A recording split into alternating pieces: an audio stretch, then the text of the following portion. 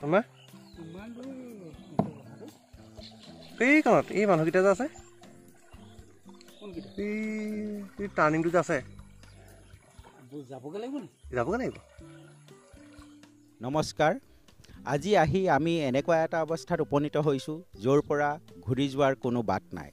মই ভাৰতীয় গণতন্ত্ৰৰ কথাই কৈছোঁ।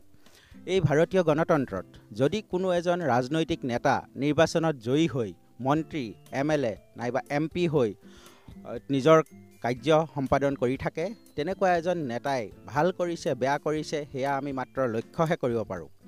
কিন্তু তেওঁ যদি কেতিয়াবা বেয়া কামত লিপ্ত হৈছে তেওঁক কিন্তু আমি ৰাইজে মাতি আনি তাৰ বাবে জবাবদিহি কৰাৰ কোনো উপায় নাথাকে। এয়া ভাৰতীয় গণতন্ত্ৰৰ এক পৰিহাস। আমি এনেকুৱা এটা গণতন্ত্ৰলৈ জীয়াই আছোঁ।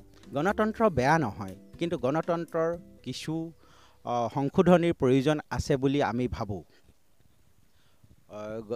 কিছুদিনৰ আগতে আমি শুনিছিলোঁ জনলোকপাল বিল যাৰ আওতাত সকলোবিলাক আহিব। কিন্তু জনলোকপাল বিলৰ কাৰণে ইমান ডাঙৰ আন্দোলন হোৱাৰ পিছত আমি দেখিলোঁ যে বিজেপি গভমেণ্ট ক্ষমতালৈ আহিল। কিন্তু তাৰ পিছতো জনলোকপাল বিল গৃহীত নহ'ল। গতিকে এনে এক পৰিৱেশত ভাৰতীয় গণতন্ত্ৰ কেনে অৱস্থাত আছে আমি আকৌ এবাৰ ঘূৰি চোৱাৰ সময় আহি পৰিছে।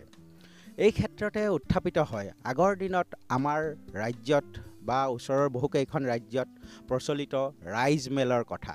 এইকেইদিনত আমি ৰাইজ মেলৰ কথাটো বাৰে বাৰে শুনি আহিছোঁ। ৰাইজ মেলনো কি?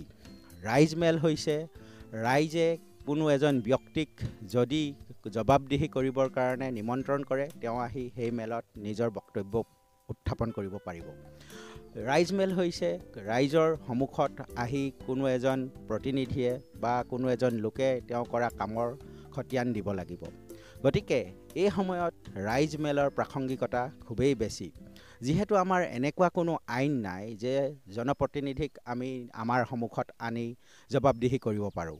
গতিকে ৰাইজ মেলৰ জৰিয়তে যদি তেওঁলোকক আনি ৰাইজৰ সন্মুখত থিয় কৰাব পৰা যায় তেওঁলোকে কি কৰিছে কি নকৰিলে এইবিলাকৰ জবাবদিহি কৰিব পৰা যায় তেতিয়াহে গণতন্ত্ৰ সফলতাৰ দিশত গতি কৰিব বুলি মই ভাবোঁ।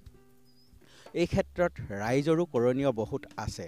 যিহেতু কোনো আইনে তেওঁলোকক তেনেধৰণেৰে টানি অনাৰ সুবিধা দিয়া নাই। ৰাইজে অকল ভোট দিয়েই দায়িত্ব সামৰিলে নহ'ব ৰাইজে তেওঁলোকৰ কামৰ কামৰ বিষয়ে প্ৰশ্ন উত্থাপন কৰিব লাগিব। তেওঁলোকৰ কামৰ মূল্যায়ন কৰিব লাগিব আৰু তেওঁলোকক উপদেশ প্ৰদান কৰিব লাগিব আৰু প্ৰয়োজন হ'লে তেওঁলোকৰ শাস্তিৰ বাবে ব্যৱস্থাও কৰিব লাগিব। দৰকাৰ হ'লে তেওঁলোকৰ পদবী কাঢ়ি লোৱাৰ ব্যৱস্থাও থাকিব লাগিব। তেতিয়াহে জনপ্ৰতিনিধিয়ে ভুল কামবিলাকৰ পৰা আঁতৰি থাকিব।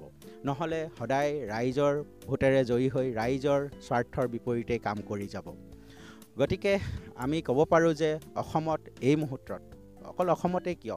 আনবিলাক ৰাজ্যতো এই মুহূৰ্তত জনপ্ৰতিনিধিক নাকি লগাবৰ বাবে ৰাইজ মেলৰ প্ৰয়োজনীয়তা আছে। কোনো কোনো অঞ্চলৰ ৰাইজে যদি একগোট হৈ এজন প্ৰতিনিধিক মাতি পঠিয়ায় তেওঁ জানো নহাকৈ থাকিব পাৰিব? কিন্তু যদি তেওঁ নাহে তেতিয়া ৰাইজে তাৰ ব্যৱস্থা কৰিবলৈও সিদ্ধান্ত গ্ৰহণ কৰিব পৰা উচিত।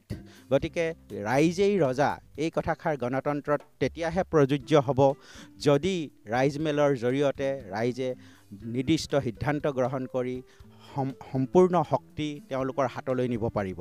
নহ'লে কিন্তু সদায় আভুৱা ভৰা ৰাজনীতিৰ পৰি কাৰণে ৰাইজে সদায় নিজৰ প্ৰাপ্য হেৰুৱাব লাগিব নিজৰ শক্তি কেতিয়াও প্ৰদৰ্শন কৰিব নোৱাৰিব আৰু অকল গণতন্ত্ৰত ভোট দিয়াৰ নামতেই তেওঁলোকে সন্তুষ্ট হৈ থাকিব লাগিব।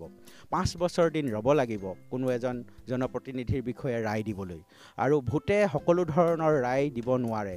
গতিকে কোৱালিটেটিভ এনালিচিছ গুণগত মানদণ্ডৰ যিটো বিশ্লেষণ ৰাইজ মেলৰ জৰিয়তে কৰা হওক। গতিকে এই ক্ষেত্ৰত আমি ৰাইজ মেলৰ পৃষ্ঠপোষকতা কৰোঁ। অনাগত নিৰ্বাচনৰ প্ৰাক মুহূৰ্ততো আমি ভাবোঁ যে নিৰ্বাচন প্ৰাৰ্থীসকলে নিৰ্বাচনৰ প্ৰাৰ্থীসকলে আহি ৰাইজৰ আগত তেওঁলোকৰ বক্তব্য দাঙি ধৰক। কালি আমি দুজনমান ভাইটিৰ লগত কথা পাতি থাকোঁতে এই কথা ভাবি পালোঁ যে যোৰহাট সমষ্টিটো যদি এখন ৰাইজ মেল পাতিব পৰা যায় নিৰ্বাচনৰ ঠিক আগে আগে যদি দুই এজন নিৰ্বাচনৰ প্ৰাৰ্থীয়ে নিজ ইচ্ছাৰে ৰাইজৰ সন্মুখত আহি প্ৰশ্নৰ উত্তৰ দিবলৈ সক্ষম হয় তেনে এটা খুব ভাল ট্ৰেডিশ্যন খুব ভাল ট্ৰেণ্ড এটা সৃষ্টি হ'ব।